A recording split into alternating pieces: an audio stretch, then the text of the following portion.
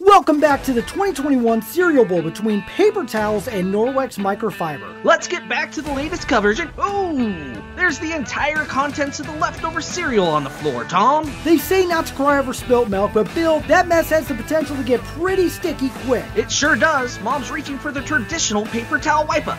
She's going in on the play. That does not look good. The paper towels just aren't able to deliver the absorbency needed on this play. Definitely not what we like to see. Looks like Mom is now reaching for her Norwex. And wowee, Tom, look at it go. Are you seeing this, folks? Watch as it handily soaks up the milk right off the floor, physically removing not only the moisture, but all the stickiness with its amazing density. Let's go into the replay. Unlike the paper towels, the Norwex microfiber can hold seven times the weight in water and can be used over and over again.